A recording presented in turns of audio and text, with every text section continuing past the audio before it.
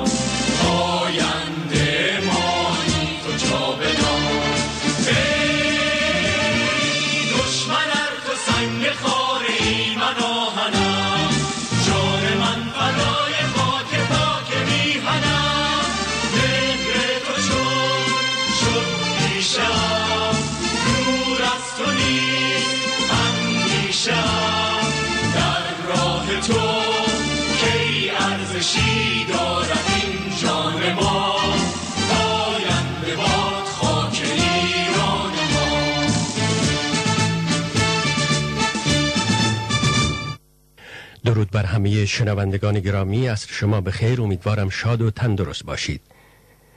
من امیر سروش با همکار ارجمند برنامه امروز خانم محبوبه آریان پاد و آقای علی میرسپاهی در تهیه و اجرای خبر برنامه امروز رو پیشکش می‌کنیم. امروز یک شنبه هفتم خرداد ماه سال 1391 خورشیدی و 27 ماه می سال 2012 میلادی و این 622 مین برنامه بخش فارسی رادیو ادلید صدای انجمن فرنگی ایرانیان استرالیای جنوبی است که میشنوید. این برنامه هر هفته روزهای یک شنبه از ساعت 3 تا 4 نیم بعد از ظهر روی موج اف ام ردیف 101 و نیم رادیو دیجیتال و از اینترنت به نشانی radio نقطه adelaide نقطه edu نقطه au از شهر زیبای ادلید مرکز استرالیای جنوبی پخش می شود اگر مایل هستید با برنامه خودتان تماس بگیرید شماره تلفن استودیو 831 35 هزار است. این از شما دعوت می کنم به اخبار توجه بفرمایید که آقای علی میرسپاهی تهیه و به آگاهی شما می رسانند.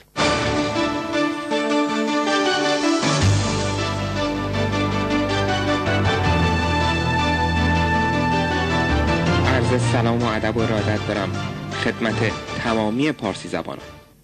علی میرسپاهی هستم. با اخبار این هفته در خدمت شما عزیزان خواهم بود.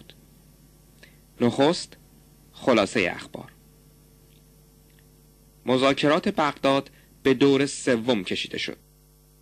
کلینتون اختلافات مهم در مورد برنامه هستی ایران باقی است. مؤسسه علوم و امنیت ایران می تواند پنج بمب بسازد. سفر مذاکره کننده ارشد هسته‌ای آمریکا به اسرائیل. خزایی در صورت حمله اسرائیل اقدامات دفاعی در پیش می‌گیریم. اعلام نامزدی حداد و لاریجانی برای ریاست مجلس. شنوندگان عزیز با تشکر از همراهی سبز شما از شما دعوت می کنم به مشروع اخبار توجه بفرمایید. در حالی که خبرنگاران در انتظار برگزاری کنفرانس خبری پس از مذاکرات ایران و پنج به علاوه یک بودند در بغداد اعلام شد که دو طرف برای برگزاری یک دوره مذاکره دیگر در روز پنجشنبه توافق کردند. به گزارش خبرگزاری ایسنا پس از نشست مشترک سعید جلیلی سرتیم مذاکره کنندگان ایرانی با نمایندگان چین و روسیه قرار شد دور سوم مذاکرات از ساعت 6 به وقت بغداد برگزار شود. در دور دوم مذاکرات نمایندگان ایران و گروه پنج به علاوه یک روز پنجشنبه میان سعید جلیلی دبیر شورای عالی امنیت ملی ایران و کاترین اشتون نماینده عالی اتحادیه اروپا در سیاست خارجی در دار و ضیافه بغداد برگزار شد.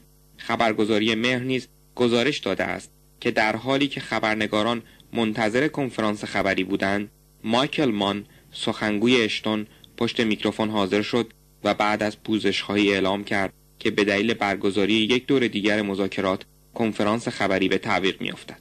مهر میافزاید که یکی از دیپلمات‌ها گفته است که حتی کاترین اشتون تا پشت در محل برگزاری کنفرانس خبری آمد اما کشورهای حاضر در مذاکرات خواستار برگزاری یک دور دیگر گفتگوها شدند افزون بر مذاکرات چند جانبه جلیلی و اشتون سه بار هم به صورت دو جانبه با یکدیگر گفتگو کردند باقری و اشمیت معاون جلیلی و اشتون هم در بغداد به صورت دو جانبه گفتگو داشتند آنگونه که دیپلمات‌ها و خبرگزاری‌ها گزارش دادند از جمله خواستهای کلیدی گروه پنج به علاوه یک توقف غنیسازی 20 درصدی از سوی ایران بوده است.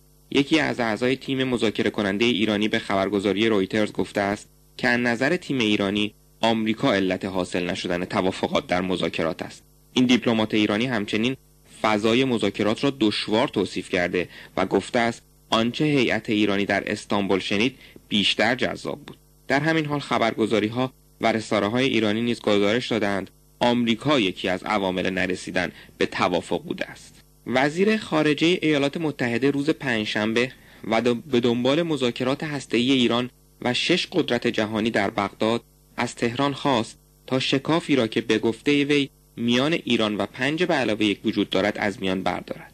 وی افزود اختلافات مهم بر سر برنامه هسته ایران باقی است. به گزارش خبرگزاری فرانسه هیلاری کلینتون چهارم خرداد ماه مذاکرات هسته‌ای در بغداد را جدی توصیف کرد و گفت اگرچه در این گفتگوها فرصتی فراهم شد تا طرفین گفتگو در مورد مسائل اساسی بحث کنند همچنان شکافی میان ایران و گروه پنج بلا یک به وضوح به چشم میآید خانم کلینتون که در یک کنفرانس خبری با حضور وزیر خارجه نیوزیلند سخن می‌گفت در ادامه اظهار کرد ما معتقدیم که اکنون انتخاب با ایران است که برای از بین بردن این شکاف تلاش کند. وی همچنین افسود تحریم ها علیه ایران همچنان ادامه دارد. ایران و گروه پنج به علاوه یک روز چهارشنبه و پنجشنبه در بغداد مذاکرات هستگی خود را در سه جلسه دنبال کردند و در این مذاکرات طرفین گفتگو بسته پیشنهادی خود را به طرف مقابل ارائه کرد.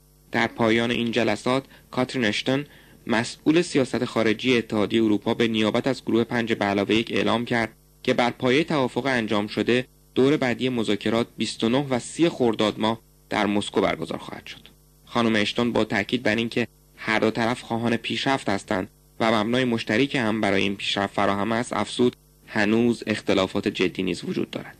وی خاطر نشان کرد که طرفین گفتگو توافق کردند برای بست مبنای مشارکت به مذاکرات بیشتری نیاز است و تصریح کرد که گروه پنج به علاوه یک در روزهای آینده با ایران در تماس نزدیک خواهد بود تا شرایط برای مذاکرات مسکو فراهم شود. هیلاری کلینتون نیز روز پنجشنبه در این خصوص گفت ما پیش بینی می کنیم که از اکنون تا دیدار بعدی در مسکو کارها به صورت مداوم پیش برود و کاملا واضح است که کارهای بسیاری هست که باید انجام شود. در حال حاضر به گفته کاترین اشتون ایران آمادگی خود برای پرداختن به موضوع غنیسازی 20 درصدی را اعلام کرده است. به گزارش خبرگزاری ها طرف غربی در بسته پیشنهادی خود خواستار توقف غنیسازی 20 درصد اورانیوم از سوی ایران شده و در مقابل متعهد شده که تسهیلاتی نظیر ایزوتوپ های پزشکی و اجزای یدکی هواپیماهای مسافربری را در اختیار ایران قرار دهد و همچنین در زمینه فعالیت های صلحآمیز هسته‌ای همکاری با ایران داشته باشد. در مذاکرات بغداد ایران نیز بسته پیشنهادی خود را ارائه کرده است بسته ای که به گفته خبرگزاری جمهوری اسلامی ایرنا بر مبنای مذاکرات استانبول و به صورت گام به گام به گروه پنج به علاوه یک پیشنهادهایی ارائه کرده است. آسوشیتد پرس هم گزارشی داده است که در بسته پیشنهادی ایران با دیدار بازرسان سازمان ملل از مجموعه های نظامی که از نظر غرب مشکوک به دنبال کردن ابعاد نظامی فعالیت های هسته ایران است موافقت شده است. در خصوص اعلام نظر طرفین گفتگو درباره این بسته های پیشنهادی خبری منتشر نشده است. مؤسسه علوم و امنیت بین الملل می‌گوید که ایران طی پنج سال گذشته موفق به افزایش ذخیره اورانیوم کم قلزت خود تا میزانی شده است که در صورت ادامه غنیسازی تا درجه خلوص بالاتر قادل به تولید پنج بمب اتمی است. مؤسسه علوم امنیت بین الملل ISIS مؤسسه آمریکایی که از نزدیک تحولات هسته ای ایران را دنبال می کند روز شنبه تحلیلی بر پایه داده های منتشر شده در گزارش روز جمعه آژانس بین المللی انرژی هسته ای از برنامه اتمی ایران ارائه کرده است. به گزارش رویترز این تحلیل می‌گوید پیشرفت های ایران در برنامه هسته ای از نزدیک و با دقت توسط کشورهای غربی و اسرائیل دنبال می شود تا تعیین کنند در صورتی که مقامات ایران تصمیم به ساخت بمب اتمی گرفتند به چه مدت زمان برای اجرایی کردن این تصمیم نیاز خواهد. این مؤسسه در ادامه گفته است که این حجم از ذخایر اورانیوم در صورت افزایش غنیسازی تا درجه خلوصی که کاربرد نظامی داشته باشد قابلیت تولید حداقل پنج بمب اتمی را دارد. به دنبال پایان یافتن مذاکرات هسته‌ای ایران و شش قدرت جهانی در بغداد مذاکره کننده ارشد آمریکا در امور هسته‌ای ایران به اسرائیل سفر کرده است تا در مورد مسائل منطقه‌ای با مقامات تلاویو گفتگو کنند. به گزارش آسوشیتد پرس وزارت خارجه ایالات متحده اعلام کرده است که وندی شرمن معاون امور سیاسی وزارت خارجه آمریکا به منظور مذاکره با مقامهای ارشد اسرائیلی در خصوص مسائل دو جانبه و منطقه‌ای به این کشور سفر کرده است. در این بیانیه بدون اشاره به مذاکرات هسته‌ای ایران و پنج به علاوه یک در بغداد آمده است که خانم شرمن در این سفر بر تعهد آمریکا در قبال امنیت اسرائیل تأکید مجدد خواهد کرد. دو روز گذشته در حالی بغداد صحنه مذاکرات هسته‌ای ایران و گروه پنج به علاوه یک بود که اسرائیل بارها برنامه هسته جمهوری اسلامی را تهدیدی برای تمامیت ارزی خود دانسته است. اسرائیل که گفته می شود تنها دارنده زراتخانه هسته‌ای در سراسر خاورمیانه است همچنین تاکید کرده است در صورت به نتیجه نرسیدن دیپلماسی در قبال برنامه های اتمی ایران گزینه حمله نظامی علیه تأسیسات هسته ایران می تواند مطرح شود با این حال قدرت های جهانی همچنان بر پیگیری مذاکرات هسته‌ای با ایران تاکید دارند و در حال حاضر نیست. پس از دو دور مذاکره در استانبول و بغداد قرار بر این است که دور بعدی گفتگوها در مسکو برگزار شود. مذاکرات هسته‌ای در بغداد در حالی پایان رفت که به گفته کاترین اشتون مسئول سیاست خارجی اتحادیه اروپا و هیلاری کلینتون وزیر خارجه آمریکا هنوز اختلافات جدی بر سر مسائل هسته‌ای وجود دارد. خانم اشتون با این حال همچنین تاکید کرده است که هر دو طرف گفتگو خواهان پیشرفت در مذاکرات هستند. به دنبال اظهارات وزیر دفاع اسرائیل درباره مطرح بودن گزینه نظامی علیه ایران نماینده جمهوری اسلامی در سازمان ملل در نامه‌ای به شورای امنیت ضمن محکوم کردن این سخنان هشدار داد که در صورت حمله ایران نیز اقدامات دفاعی در پیش خواهد گرفت. به گزارش روز شنبه شش خرداد خبرگزاری دانشجویان ایران ایسنا محمد خزایی در نامه‌ای به رئیس دوره‌ای شورای امنیت سازمان ملل متحد تهدید به حمله علیه تأسیسات هسته ایران را نقض آشکار اصول اساسی منشور ملل متحد و اصول اساسی قوانین بین المللی و اقدامی علیه صلح و امنیت منطقه‌ای و بین المللی دانست. وی با تاکید بر اینکه ایران هیچگاه آغازگر جنگ و حمله علیه هیچ ملتی نبوده و نخواهد بود هشدار داد اما در عین حال بر اساس حق ذاتی خود و بر اساس ماده 51 منشور ملل متحد در اقدام برای دفاع از خود و پاسخ به هر گونه حمله علیه ملت ایران و اتخاذ اقدامات دفاعی متناسب برای دفاع از خود لحظه ای تردید نخواهد کرد. علی لاریجانی و غلام علی حداد عادل در دو نشست جداگانه نامزد ریاست دوره نهم مجلس شورای اسلامی شدند. در هر کدام از این دو نشست شماری از منتخبان مجلس حضور داشتند. اعلام نامزدی لاریجانی و غلام علی حداد عادل برای ریاست مجلس یک روز پیش از آغاز به کار دوره مجلس نهم صورت گرفته است. لاریجانی ریاست مجلس هشتم و حداد عادل ریاست مجلس هفتم را بر عهده داشتند. هر دوی آنها هم از شخصیت های اصولگرا به شمار می آیند. منحصر شدن رقابت های انتخابات مجلس شورای اسلامی میان اصولگرایان باعث شد اکثریت مجلس در دست این جناح سیاسی ایران قرار گیرد. از این رو رقابت بر سر ریاست مجلس هم میان طیف های مختلف جناح اصولگرا صورت می گیرد. جبهه پایداری که با محوریت محمد تقی مصباح یزدی شکل گرفته از ریاست حداد عادل در مجلس شورای اسلامی حمایت کرده. اما جبهه متحد اصولگرایی از هیچ یک از این دو به طور علنی حمایت نکرده است. جبهه متحد اصولگرایی که با محوری محمد رضا مهدوی کنی رئیس مجلس خبرگان تشکیل شده در انتخابات مجلس هم از رالیجانی و هم از حداد عادل حمایت کرده بود. حداد عادل از حمایت جبهه پایداری در انتخابات نیز برگزار بود. رقابت اصلی در انتخابات مجلس شورای اسلامی میان جبهه متحد اصولگرایی و جبهه پایداری بود. پیشتر خبرهایی مبنی بر حمایت جبهه متحد اصولگرایی از ریاست لاریجانی در مجلس منتشر شده بود که مسئول روابط عمومی این گروه آن را تکذیب کرد.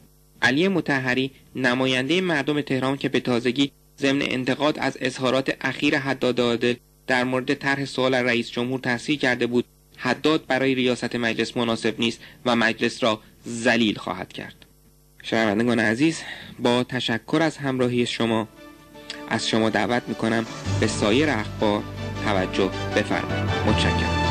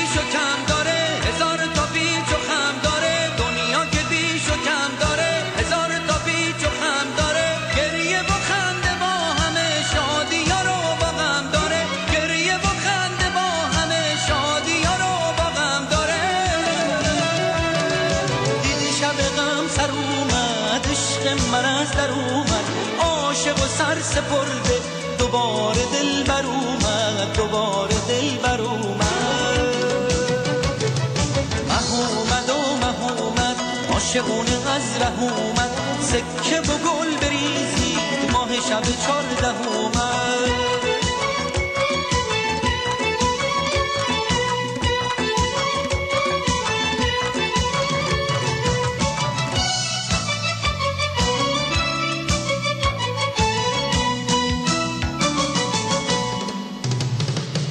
مه اومد و مه اومد عاشقونه از ره شب چارده اومد.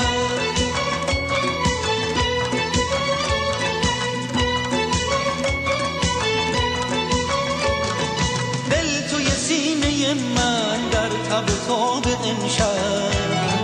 جام شراب و پر کن کی کی کی شب خواب امشب. مثل مه من ایده چشم فلک ندیده. خدا کنه که امشب سر نزنه سپیده. مه اومد و مه اومد عاشقونه از ره اومد. سکه و گل بریزی ماه شب چارده اومد.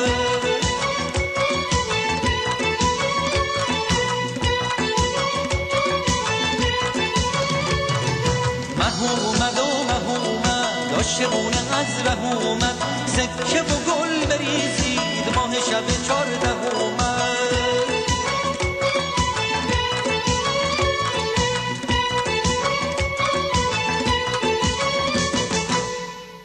خب آهنگ ماه شب 14 رو با صدای شاهرخ شنیدید ساعت 3 و 19 دقیقه است.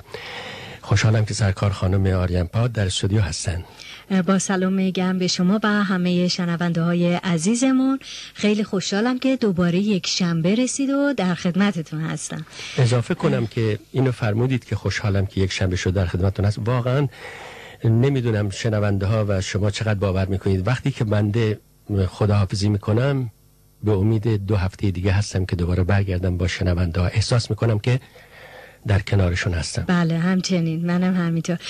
آقای سروش می‌خواستم از فرصت استفاده کنم. تولد نوه سومتون رو بهتون تبریک بگم. خیلی ممنونم. اه، یولیانو شایان رو- یولیانو چهارشنبه 23 می به دنیا آمد. ساعت دو و یک دقیقه بعد از ظهر. بله تولدش رو به پدر و مادر عزیزش و همچنین خواهرش سلینا و برادرش سورنا تبریک میگیم و براش بهترین ها رو آرزو می‌کنیم. خیلی من برای همه عزیزانی که بچه دارن آرزوی خوشبختی و سلامتی و امیدوارم سایه پدر مادرها همیشه بر سر فرزندانشون باشه. خیلی ممنونم. و اما شما قبل از شروع برنامه پیشنهاد خوبی کردید گفتید که موضوعی رو مطرح کنیم با شنوندگان عزیز. بله می‌خواستیم ببینیم نظر شنونده ها رو بپرسیم راجع به صرفه‌جویی. صرفه‌جویی چیه و آیا صرفه‌جویی رو خصیص بودن می‌دونید یا نه؟ اگه لطف کنید به ما به شماره 831 35 هزار زنگ بزنین خیلی خوشحال به میشیم نظر من خیلی موضوع جالبی رو مطرح کردید. امیدوارم شنوندگان زنگ بزنن و با ما در این مورد صحبت کنن.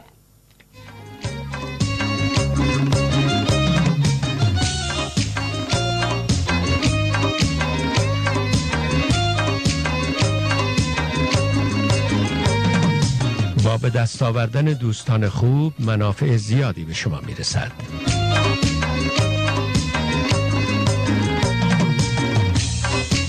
با به دست آوردن دوستان خوب منافع زیادی به شما می‌رسد و چیزهای بسیاری یاد خواهید گرفت. این مزایا آنقدر زیاد است که حتی تصور آن را نمی توانید بکنید. در طی پژوهشی طولانی که در دانشگاه فیلیندرز استرالیا انجام شد پژوهشگران روی حدود 1500 فرد مسن تحقیق کردند و دریافتند. کسانی که در طول زندگی خود دوستان بیشتری داشتند نسبت به سایر افراد 22 درصد بیشتر به عمر طولانی و زنده ماندن تمایل دارند یکی از دلایل آن می تواند این باشد که اکثر دوستان واقعی و خوب انسان را از دستیابی به عادات بد مثل سیگار کشیدن و یا اعتیاد به الکل نهی می کنند همچنین گذراندن زمان با دوستان انسان را از ابتلا به اختلالاتی مانند افسردگی و تنهایی دور نگه می دارد. از سوی دیگر دوستان اعتماد به نفس ما را افزایش می دهند و در هنگام نیاز پشتیبانمان هستند. در بسیاری از مطالعات به اثبات رسیده است که داشتن یک حامی قدرتمند اجتماعی می تواند تأثیر بسیار مثبتی بر سلامتی انسان داشته باشد. به طور مثال در یک مطالعه پژوهشگران با بررسی 60 خانم مبتلا به سرطان دریافتند که امید زندگی در آنها دو برابر سایر افرادی است که هیچ دوستی ندارند و در فعالیت‌های گروهی شرکت نمی کنند. در مطالعه مشابه دیگر افرادی که رابطه صمیمیتری با بستگان و دوستان خود داشتند در موقعیت بهتری برای مبارزه و مقابله با استرس بودند به این معنا که دوستان نه تنها در شرایط نامطلوب از لحاظ روحی بیاری آنها می شتافتند بلکه با کمک های مالی خود نیز از بیمار حمایت و شرایط مطلوب درمان را برای دوستان خود مهیا می کردند. تنهایی و تاثیر آن بر انسان اجازه دهید بیشتر روی افرادی تمرکز کنیم که به دلیل تنهایی و انتخاب تنها بودن در معرض خطر مرگ های ناگهانی قرار دارند. پژوهش ها ثابت کرده است که مصرف مواد مخدر در میان افراد تنها رایجتر است. افراد مسن تنها نیز بیشتر در معرض ابتلا به کم یا بدخوابی و فشار خون بالا قرار دارند و همین تنهایی می تواند احساس تنش و اضطراب افراد را افزایش دهد. هورمون استرس در بدن افراد تنها بیشتر ترشح می شود و واکنش و پاسخهای ایمنی آنها نسبت به واکنش آنفولانزا ضعیفتر است. طبق آخرین آمار آمریکایی ها در حال حاضر تمایل دارند دوستان کمتری داشته باشند این مطالعه که در بررسی جامعه شناسی آمریکا به چاپ رسید حقایق تکان دهنده ای را نشان داد به عنوان مثال سالهای 1985 تا 2004 شمار آمریکایی هایی که فکر می کردند دوستان خوبی دارند که در صورت نیاز می توانند با آنها صحبت کنند به یک سوم رسیده است. همچنین تعداد افرادی که در مسائل مهم زندگی با همسرشان مشورت می کنند 5 تا 9 درصد کاهش یافته است. کارشناسان معتقدند یکی از دلایل این روند افزایش ساعات کاری و محبوبیت و گسترش اینترنت در خانواده هاست که منجر به کاهش روابط اجتماعی شده است. ویژگی های یک دوست خوب صداقت بهترین هدیه‌ای که هر کس می‌تواند به دیگری بدهد صداقت است عشق دوست خوب و واقعی عشق بدون قید و شرط را می طلبد. کمک. دوست خوب و واقعی دوستی است که در تمامی شرایط کمک حال و یار دوست خود باشد. وفاداری. یکی از مشخصات اصلی دوست خوب وفاداری است که با گذشت زمان شما را ترک نکند. دوستی دو جانبه. اگر در یک رابطه فقط یک نفر نفع ببرد و طرف مقابل دائم در حال سرویس دادن و خدمت کردن باشد مدت زیادی طول نخواهد کشید که این رابطه از بین می رود یک رابطه در صورتی سالم و محکم خواهد شد که دو طرفه باشد و هر دو نفر به رشد یکدیگر کمک کنند تفاوت زنان و مردان در دوستی ها پژوهش ها نشان می دهد که زنان نسبت به مردان در حفظ دوستی موفق ترند. طبیعت زنان بگونه است که تمایل دارند با دیگران ارتباط برقرار کنند و در شرایط استرسا از آنها کمک بگیرند و همین امر باعث می شود که به دنبال یافتن روابط و حمایت اجتماعی جدید باشند. این تمایل مزایای بسیاری دارد و راه بسیار خوبی برای کاهش استرس های روانی و زیستی است. همچنین این مطالعه نشان می دهد که مردان و زنان به روش های متفاوتی با دیگران ارتباط برقرار می کنند. دوستی های زنان بیشتر به دلیل داشتن یک همدل و همدم است در حالی که دوستی های مردانه بیشتر به طرف مقابل و رفاه و کمک به دیگران مربوط می شود.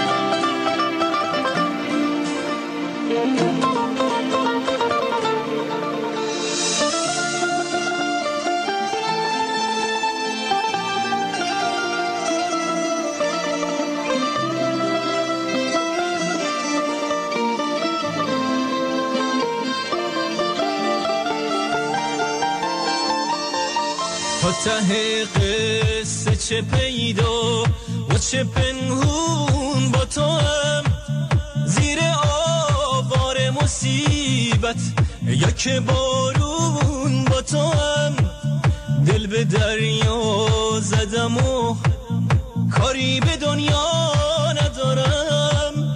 تو سکوت سنگیه دنیا غزل خون با تو هم. هرچی تنها تر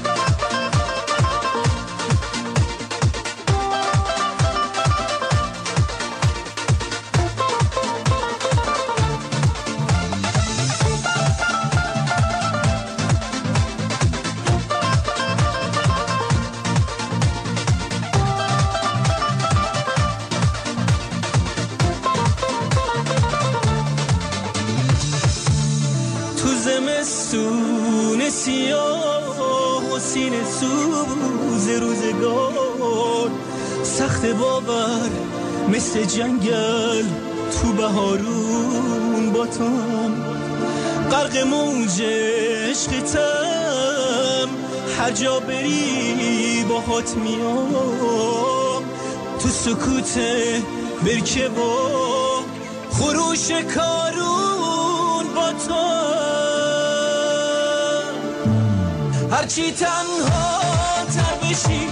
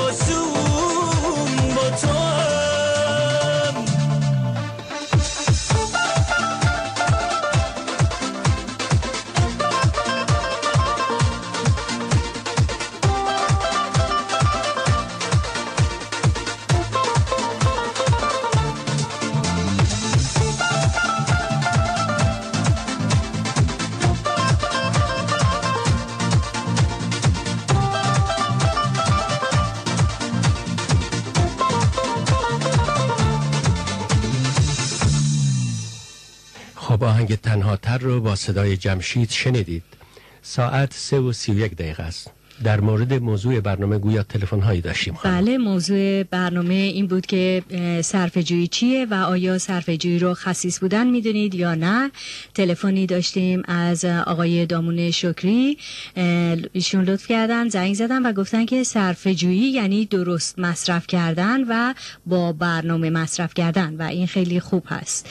اه، در ضمن تلفنی داشتیم از آقای انصاری علی انصاری. ایشون گفتن که صرف جویی هیچ وقت خصیص بودن نیست بلکه داشتن نظم ابتکاری در زندگی هست و کسانی که به صرف جویی رسیدن در زندگی همیشه جلو هستن.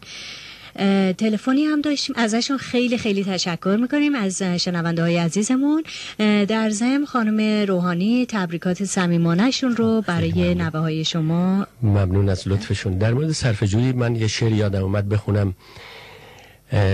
میگن چو دخلت نیست خرج آهسته تر کن. که می‌خوانند ملاحان سرودی.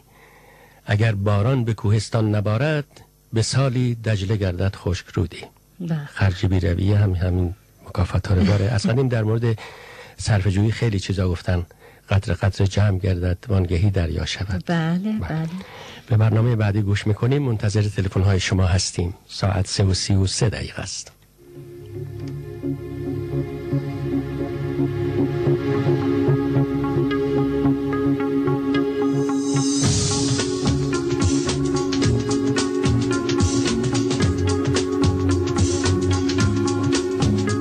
این نیز بگذرد.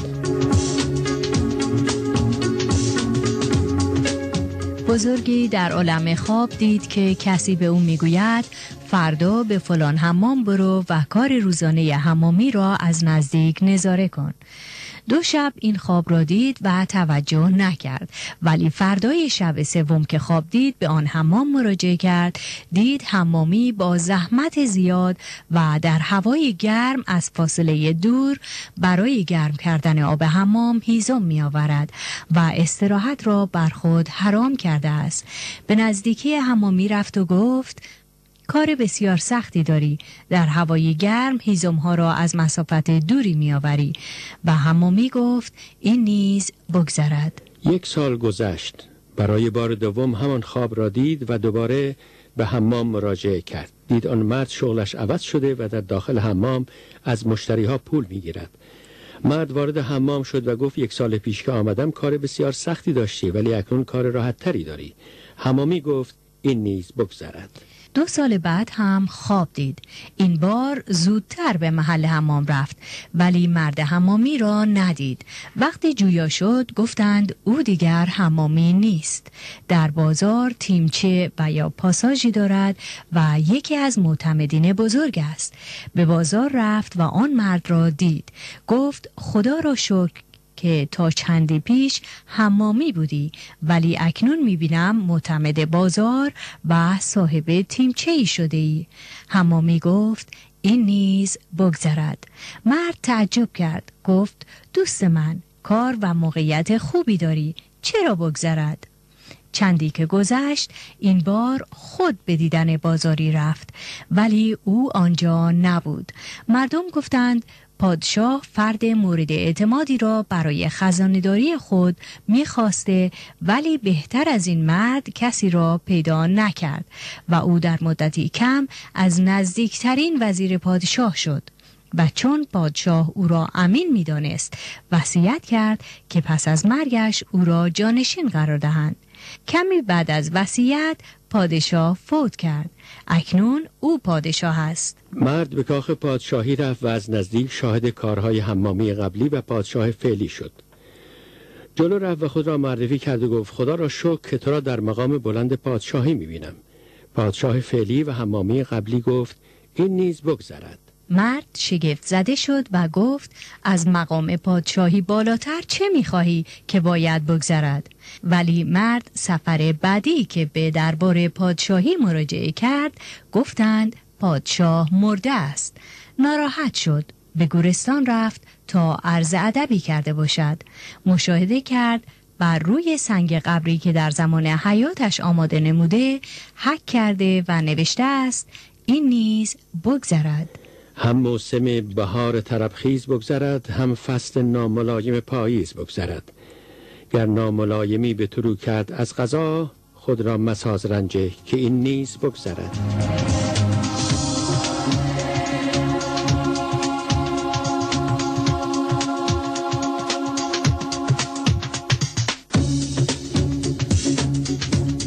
انتخاب ملکه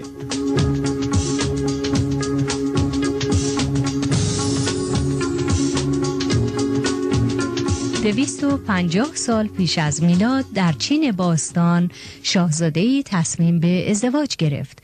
با مرد خردمندی مشورت کرد و تصمیم گرفت تمام دختران جوان منطقه را دعوت کند تا دختری سزاوار و مناسب را انتخاب کند. وقتی خدمتکار پیر قصر ماجرا را شنید به شدت غمگین شد. چون دختر او مخفیانه عاشق شاهزاده بود. دخترش گفت او هم به مهمانی شاهزاده خواهد رفت. مادرش گفت تو شانسی نداری نه ثروتمندی و نه خیلی زیبا. دختر در جواب گفت می‌دانم هرگز مرا انتخاب نمی کند اما فرصتی است که دست کم یک بار او را از نزدیک ببینم.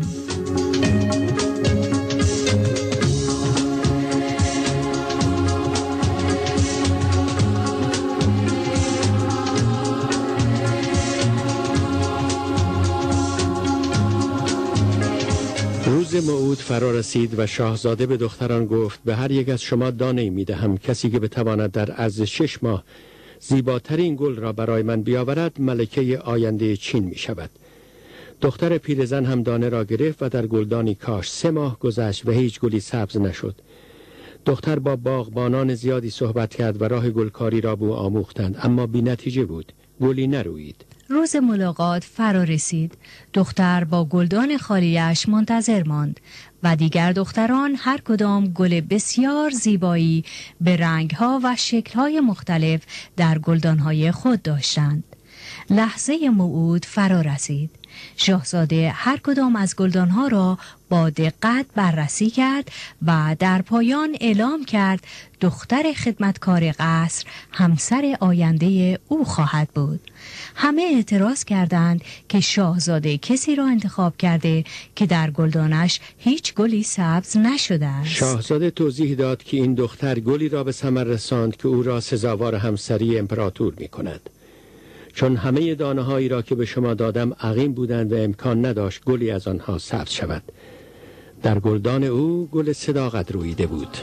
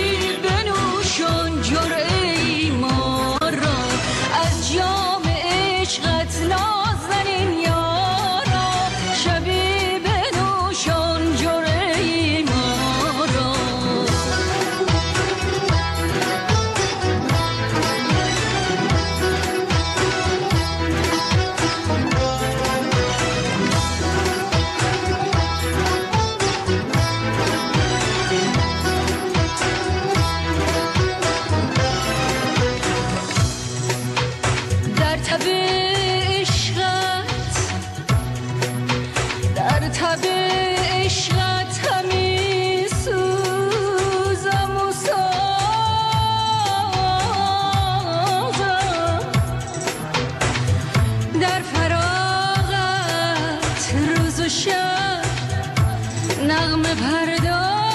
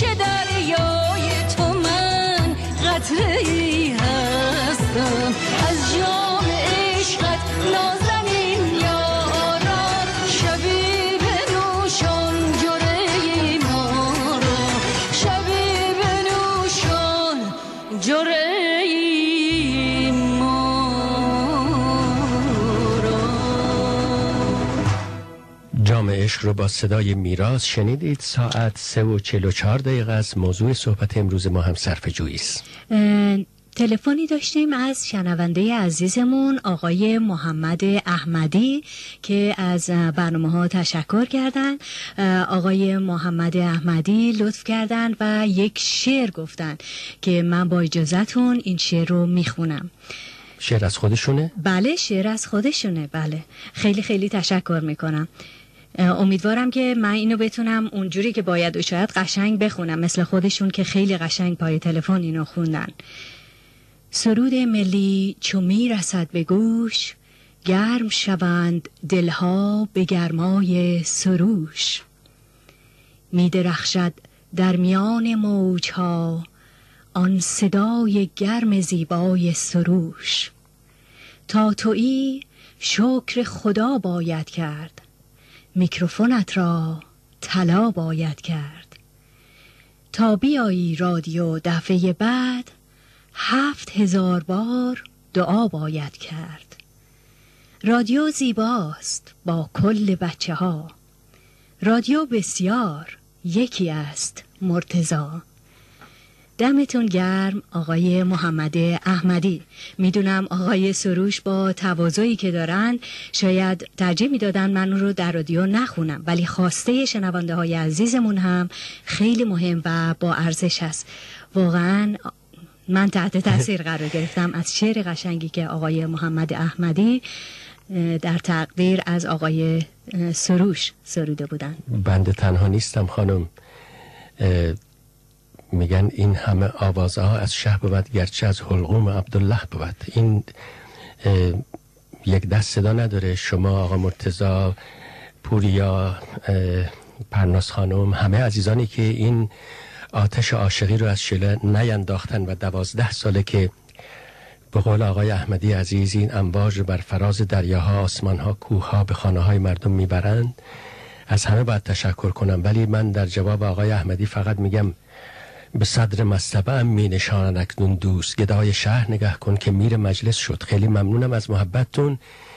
واقعا من نمی‌دونستم که محبوب خانم می‌خوان چی بخونم. بله من به آقای سروش نگفتم گفتم, و گفتم فقط یه تلفنی. داشتیم گفتن بله تلفن داشتیم بعدا به هر صورت بسیار ممنون از لطف و محبت شما و همه عزیزانی که همیشه چه در تلفنی چه وقتی بنده رو می‌بینن محبت و لطف دارن نسبت به همه عزیزانی که در اینجا کار می‌کنن.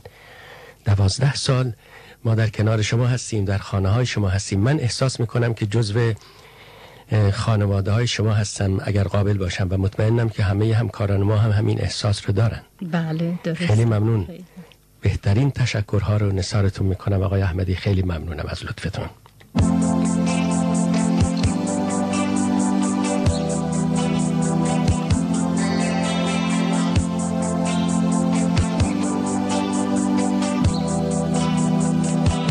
در اینترنت چه میگذرد؟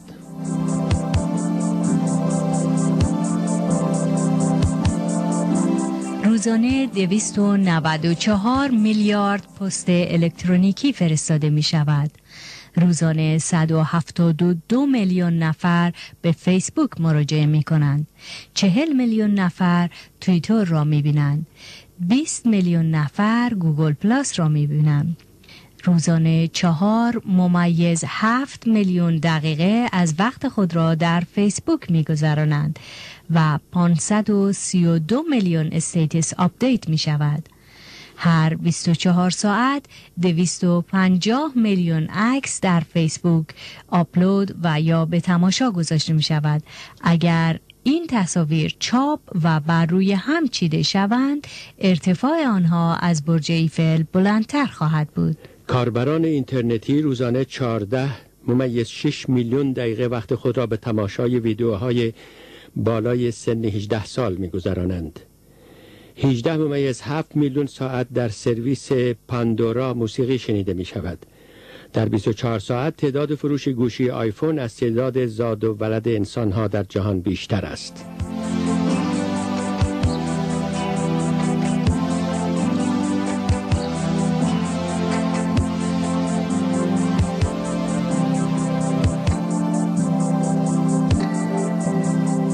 روزی مردی داخل چاله افتاد. روزی مردی داخل چاله افتاد و بسیار دردش آمد. یک روحانی او را دید و گفت حتما گناهی انجام داده ای یک دانشمند عمق چاله و رطوبت خاک آن را اندازه گرفت. یک روزنامه نگار در مورد دردهایش با او مصاحبه کرد. یک یوگیس به او گفت این چاله و همچنین دردت فقط در ذهن تو هستند در واقعیت وجود ندارند. یک پزشک برای او دو قرص آسپرین پایین انداخت. یک پرستار کنار چاله ایستاد و با او گریه کرد. یک روانشناس او را تحریک کرد تا دلایلی را که پدر و مادرش او را آماده افتادن به داخل چاله کرده بودند پیدا کند. یک تقویت کننده فکر او را نصیحت کرد که خواستن توانستن است. یک فرد خوشبین به او گفت ممکن بود یکی از پاهات رو بشکنی ها. سپس فرد بی سوادی گذشت و دست او را گرفت و او را از چاله بیرون آورد. و برنارد شاو می‌گوید آن که می‌تواند انجام می‌دهد و آن که نمی‌تواند انتقاد می‌کند.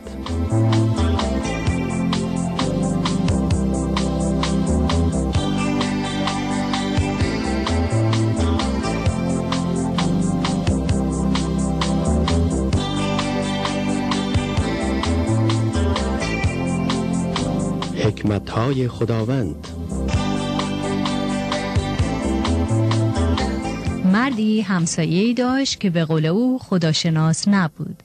هر روز و هر شب همسایه‌اش را با صدای بلند لن و نفرین می کرد به طوری که همسایه‌اش می شنید که او در دعایش می گفت خدایا جان این همسایه کافر مرا بگیر و مرگش را نزدیک کن.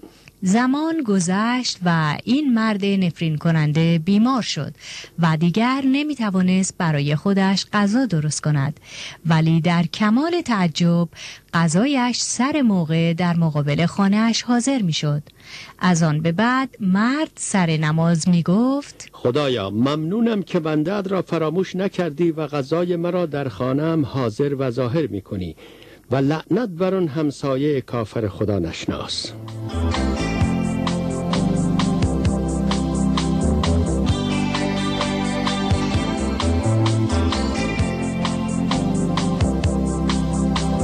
روزی از روزها که خواست برود غذا را بردارد دید این همان همسایه به قول او کافر است که غذا را برایش می آورد از آن شب به بعد مرد سر نماز می گفت خدایا ممنونم که این همسایه شیطان و کافر را وسیله قرار دادی که برای من بیمار غذا بیاورد. حالا تازه حکمت تو را می‌فهمم که جانش را نگرفتی.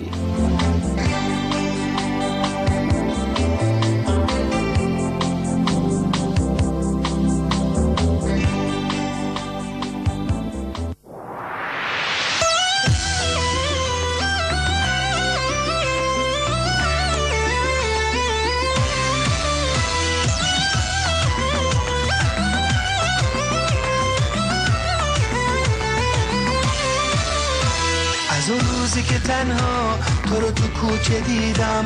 به یادت توی شبها فقط ستاره چیدم. هزار نامه و پیغوم نوشتم تو بدونی. نوشتم تو بدونی. توی عزیز جونی. چه احساس قشنگی تو قلبم تو رو دارم. ببین چه خوبه ای گل توی تو روزگارم. چقدر خوبه عزیزم کنارم تو رو دارم. یواشکی رو لبهات گل پوست میکارم.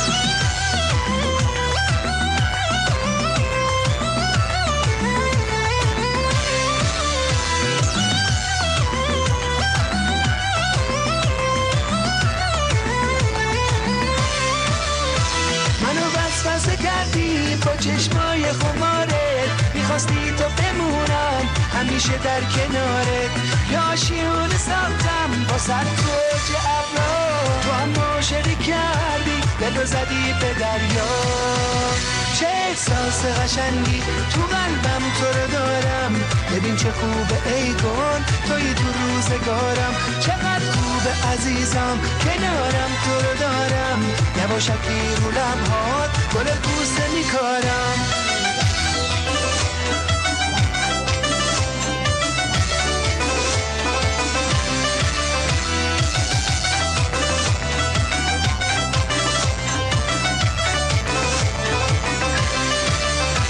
نشستی توی سینه تو این دل شدی مهمون شدی لیلی قصه. منم عاشق مجنون تو گلدون خیالم شدی تک گل احساس. منم برگ خزون بود یه عمری تو رو می‌خواست. چه احساس قشنگی تو قلبم تو رو دارم. ببین چه خوبه ای گل توی تو روزگارم. چقدر خوبه عزیزم کنارم تو رو دارم. یواشکی رو لبهات گل بوسه میکارم.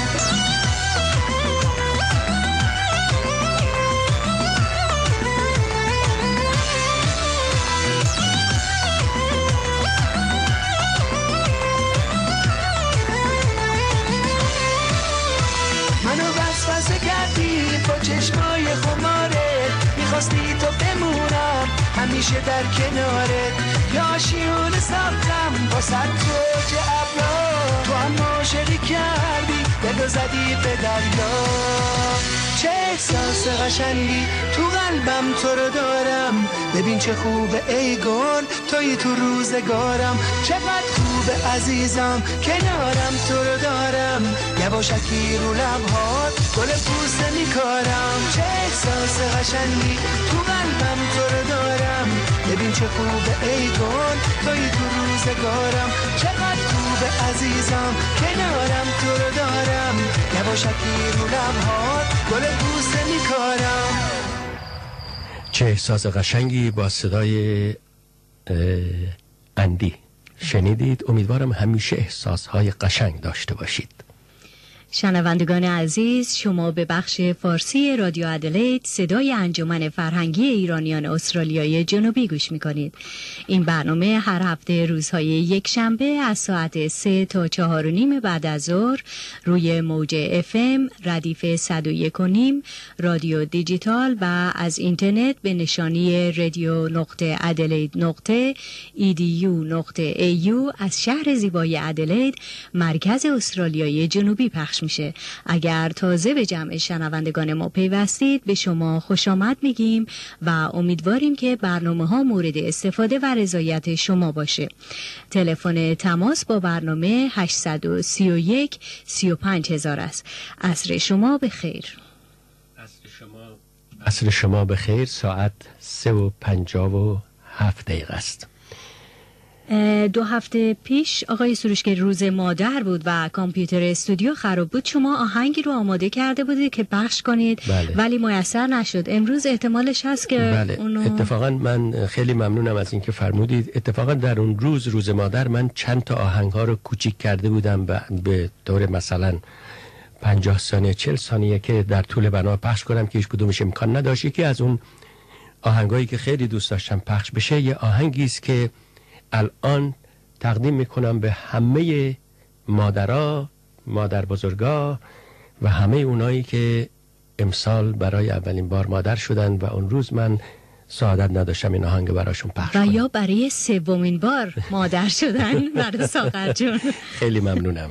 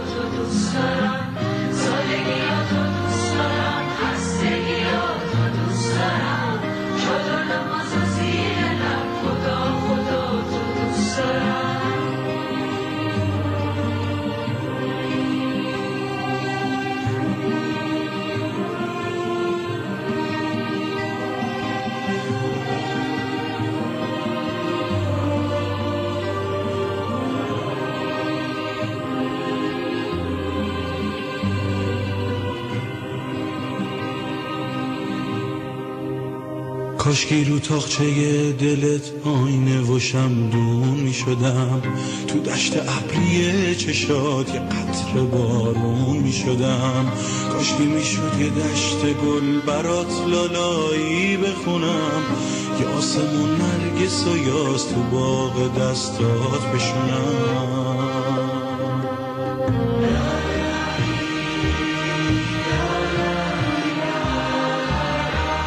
که می‌خوام تو چشات ستاره هامو بشورم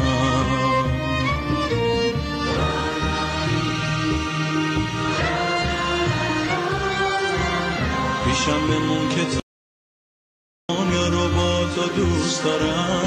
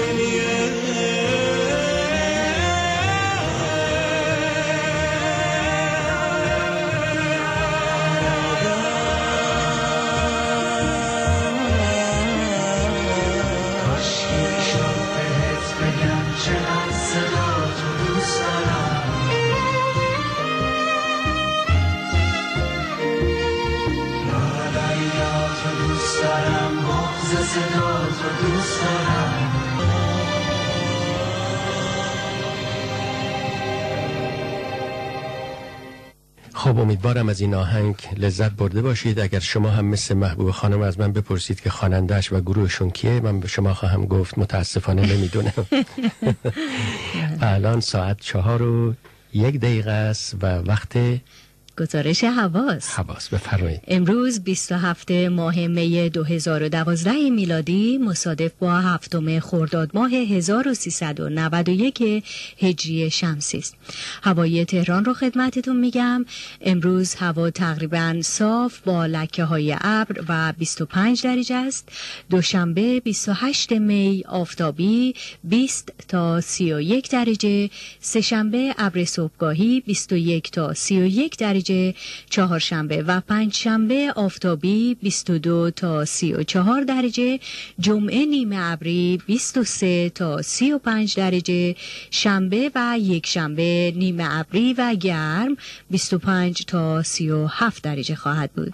هوای ادلید رو میگم خدمتتون یک شنبه امروز آفتابی و 17 درجه بالای صفر بود دوشنبه آفتابی 8 تا 15 درجه سهشنبه آفتابی 7 تا 15 درجه چهارشنبه آفتابی 6 تا 16 درجه پنجشنبه ابری در ارتفاع بالا 6 تا 17 درجه جمعه بعد از ظهر ابری 8 تا 18 درجه شنبه ابری صبحگاهی 8 تا 18 درجه و یک شنبه بیشتر آفتابی 7 تا 17 درجه خواهد بود.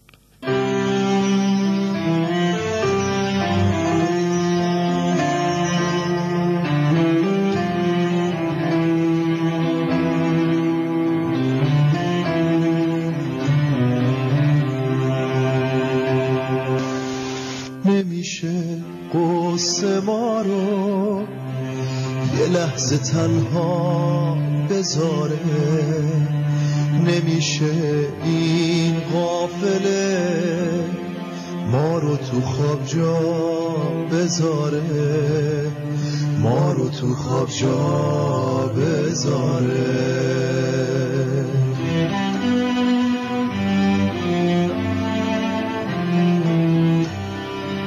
دلت بوسه می‌خواد. من می‌دونم اما لبت سر هر جمله دلش می‌خواد. اما بذاره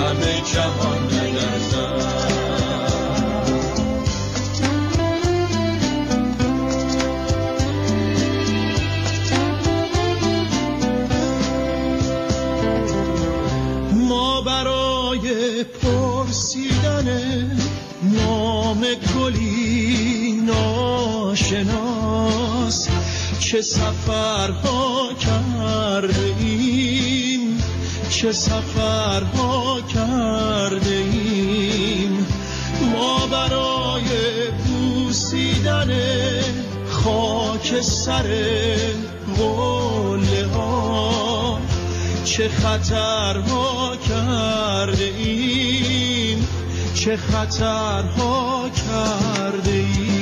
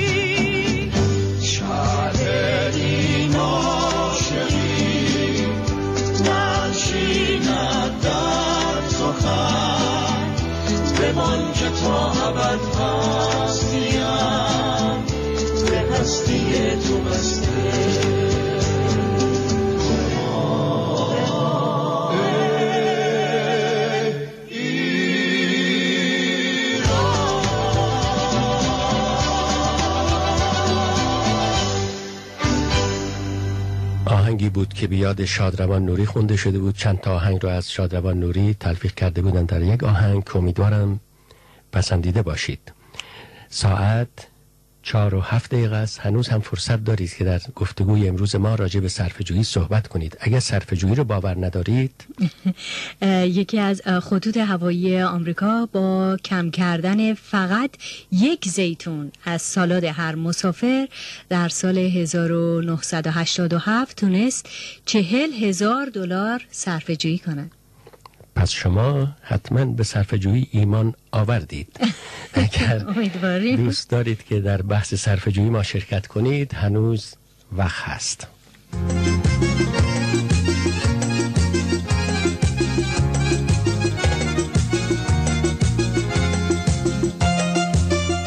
واکنش قورباغه‌ای.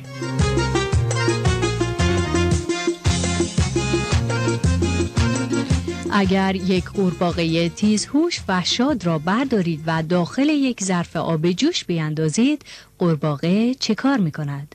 بیرون می پرد و در واقع قورباغه فوراً به این نتیجه می رسد که لذتی در کار نیست و باید برود. حالا اگر همین قورباغه یا یکی از فامیلهایش را بردارید و داخل یک ظرف آب سرد بیاندازید و بعد ظرف را روی اجاق گاز بگذارید و به تدریج به آن حرارت بدهید قورباغه چه کار می کند؟ استراحت می کند چند دقیقه بعد به خودش می‌گوید ظاهرا آب گرم شده است و تا چشم به هم بزنید یک قورباغه آب پز آماده است نتیجه اخلاقی داستان این است که زندگی به تدریج اتفاق می افتد. ما هم می توانیم مثل قورباغه داستانمان به گرمای تدریجی آب عادت کنیم و وقت را از دست بدهیم و ناگهان ببینیم که کار از کار گذشته است. همه ما باید نسبت به جریانات زندگیمان آگاه و بیدار باشیم. اگر فردا صبح از خواب بیدار شوید و ببینید که 20 کیلو چاق شده اید نگران نمی شوید البته که می شوید سراسیم بی بیمارستان تلفن می زنید الو؟ اورژانس؟ کمک کمک. من چاق شدم. اما اگر همین اتفاق به تدریج رخ بدهد. یک کیلو این ماه یک کیلو ماه آینده آیا باز هم همین عکس عمل را نشان می دهید؟ نه. با بیخیالی از کنارش می گذارید. برای کسانی که ورشکسته می شوند اضافه وزن می آورند طلاق می گیرند یا آخر ترم مشروط می شوند این حوادث دفعتا اتفاق نمی افتد. یک ذره امروز یک ذره فردا و سرانجام یک روز هم انفجار و سپس می‌پرسیم چرا این اتفاق افتاد زندگی ماهیت انبار شوندگی دارد هر اتفاقی به اتفاق دیگر افزوده می شود مثل قطره های آب که صخره های سنگی را می فرساید.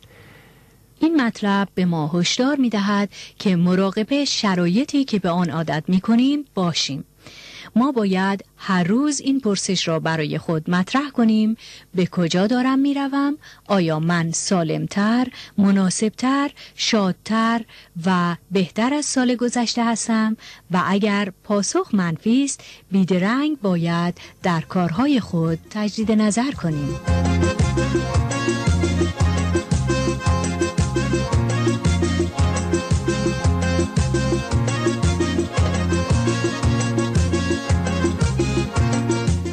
نجات پرستی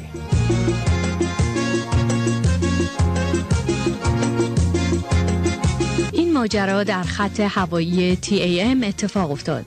زن سفید پوستی که حدوداً پنجاه سال داشت وقتی سوار هواپیما شد و صندلی خود را یافت دید مسافر کنارش یک مرد سیاه پوست است.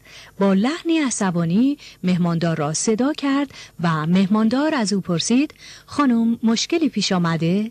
زن سفید پوست گفت مگر نمی بینی صندلی به من داده شده که کنار یک مرد سیاه پوست است؟ من نمی توانم کنارش بنشینم. باید جای مرا عوض کنید. مهماندار گفت خانم لطفا آرام باشید. متاسفانه تمام صندلی ها پر است و من دوباره چک می کنم ببینم صندلی خالی پیدا می شود یا نه. مهماندار رفت و چند دقیقه بعد برگشت و گفت خانم همانطور که گفتم تمام سندلی ها در این قسمت پر است. من با کاپیتان هم صحبت کردم و او هم تاکید کرد که تمام سندلی ها در قسمت اکنومی پر است. اما ما تنها یک صندلی خالی در قسمت درجه یک داریم. و قبل از اینکه زن سفید پوست چیزی بگوید مهماندار ادامه داد. ببینید خیلی معمول نیست که یک شرکت هواپیمایی به مسافر قسمت اکنومی اجازه بدهد در صندلی درجه یک بنشیند. با این حال با توجه به شرایط کاپتان فکر می کند اینکه مسافری کنار یک مسافری که دوست ندارد بنشیند ناخوشایند است. مهماندار سپس رو به مرد سیاپوس کرد و گفت قربان این به این معنی است که شما می توانید کیفتان را بردارید و به صندلی خود که در قسمت درجه یک برایتان رزرو نموده ایم تشریف بیاورید. تمام مسافران اطراف که این صحنه را دیدند هیجان زده شدند ایستادند و کف زدند.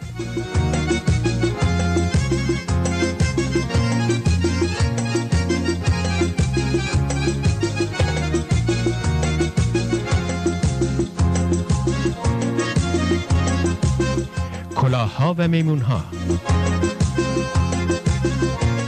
کلاهفروشی روزی از جنگلی میگذشت تصمیم گرفت زیر درخت مدتی استراحت کند.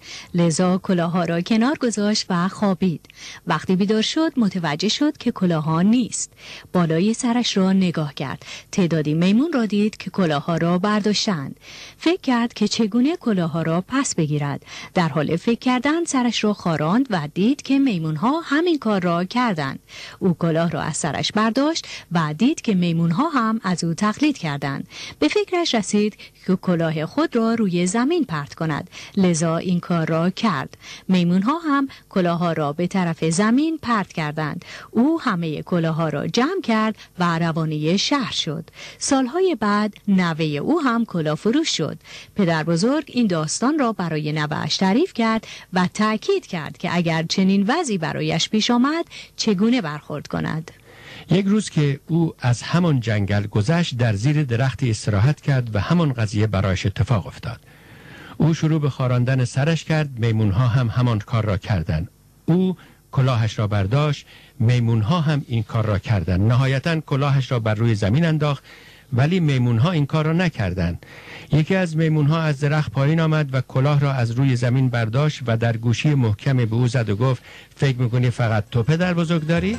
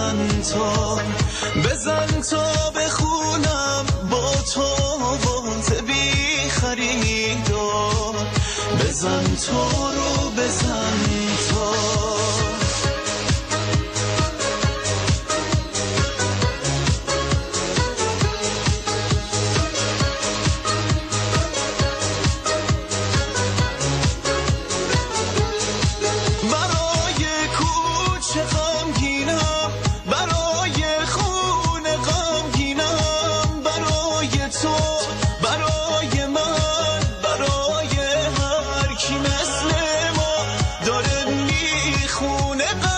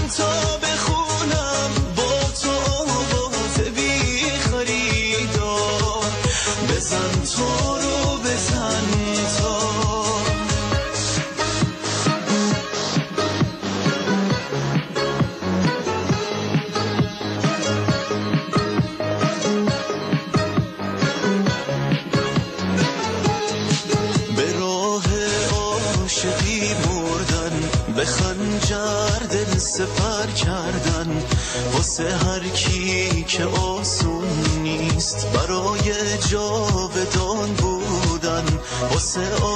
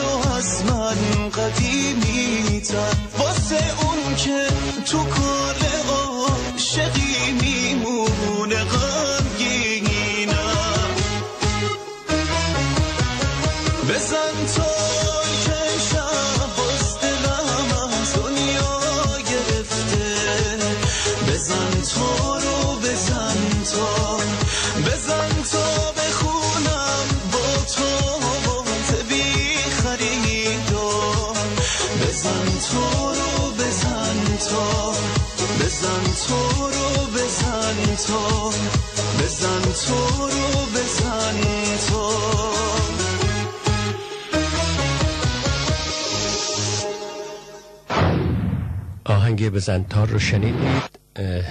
در چند هفته پیش آهنگی پخش کردم به نام خاک مهرائین که بنده فکر کردم که این آهنگ با صدای آقای سالار عقیلیه ولی بعدن که دقت کردم دیدم که این آهنگ با صدای آقای وحید تاج هست با گروه همخانی که در تهران هستن.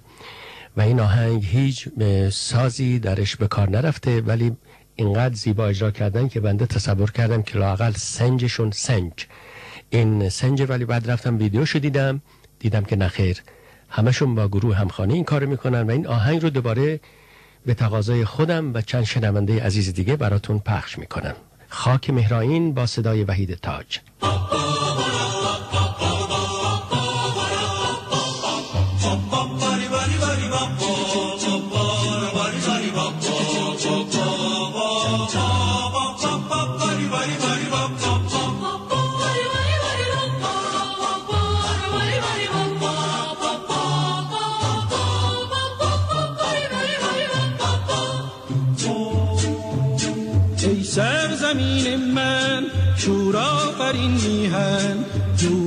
دور است و باد ای مرز باور دست اهریمن ای خاک مهرائین آینه ایمان.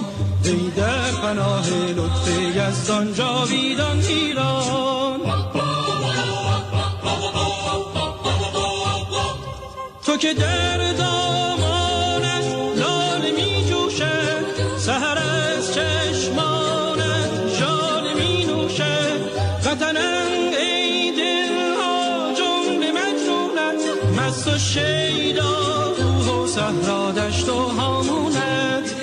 سرزمین من شور آفرین میهن دور است و باد ای مرز باور دست اهریمن ای خاک مهرائین آینه ایمان.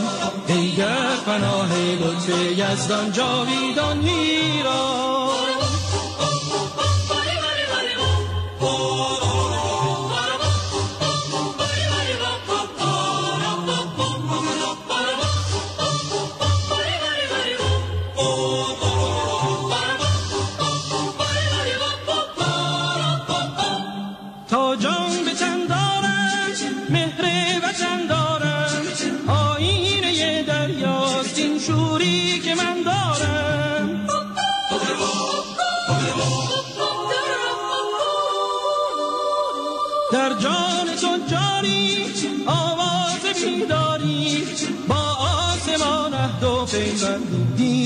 داری؟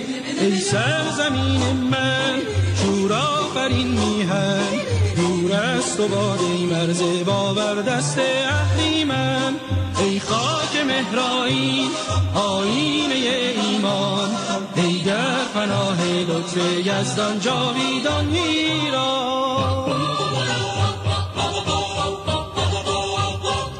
تو که در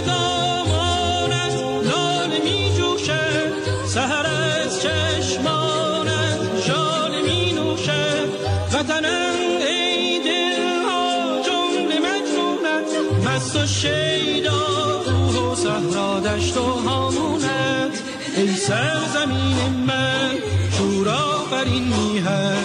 دور است و باد مرز باور دست اهریمن ای خاک مهرائین آینه ایمان. ای در پناه لطف یزدان.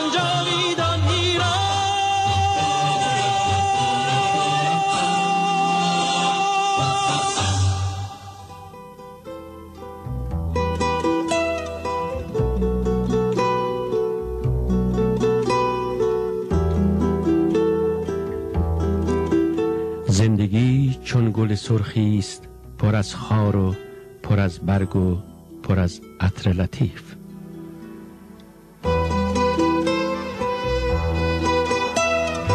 زندگی با همه وسعت خیش محفل ساکت غم خوردن نیست.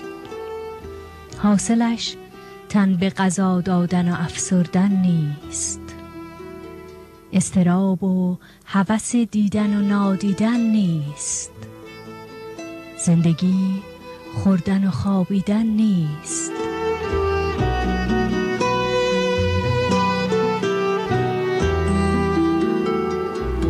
زندگی جنبش جاری شدن است. زندگی کوشش و راهی شدن است.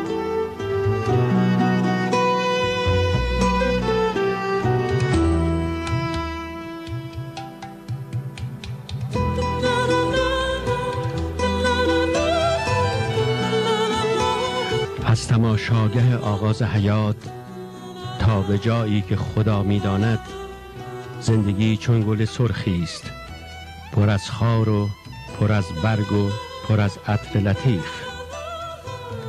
یادمان باشد اگر گل چیدیم عطر و برگ و گل و خار همه هم سایه دیوار به دیوار همند.